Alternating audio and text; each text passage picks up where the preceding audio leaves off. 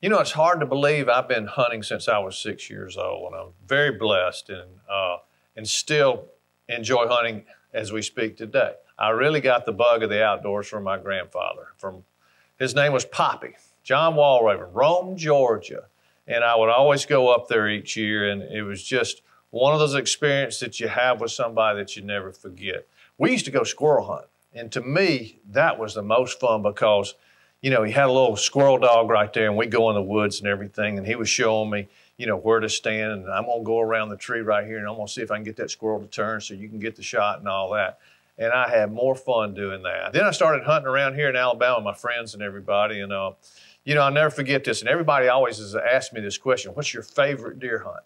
And you know, a lot of people want to, you know, maybe it was that big deer that you shot in Alberta or Montana. No, it goes back to my friends, uh, Coit Jordan, Thomas Eunice, and Mike Jackson. We were on a, a deer drive in Myrtlewood, Alabama. Okay. I had a shotgun with double aught buckshot.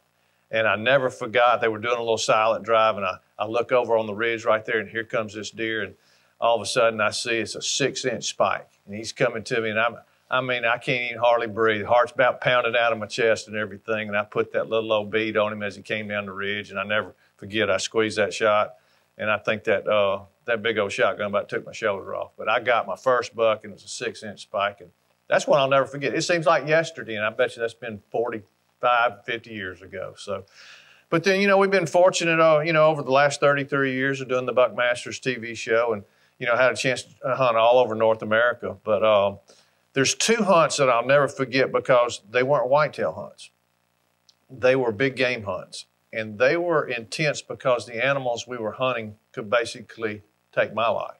And that's a whole different ball game. And I remember we were in Idaho, and I was in pretty good shape back in those days. And we were mountain lion hunting.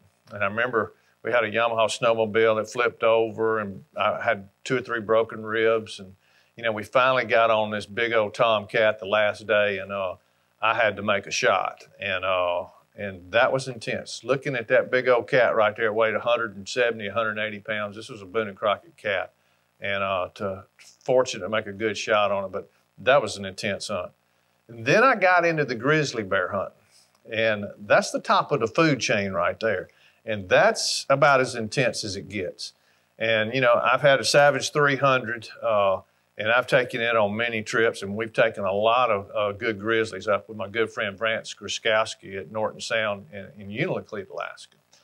But this one particular hunt we went on, you know, I said, look, I'm going to take the Savage 300, and I'm also going to take my boat. So Vance and I, we got on a, a, a walrus that had washed up there on the beach, and we're sitting there, and he said, well, we got about 10 minutes left, or, and we got to go. And I look up, and here comes a grizzly bear around the corner, coming right toward the walrus. So as I'm reaching down for my bow, I look up through the little brush top that we were sitting in. Here comes grizzly number two.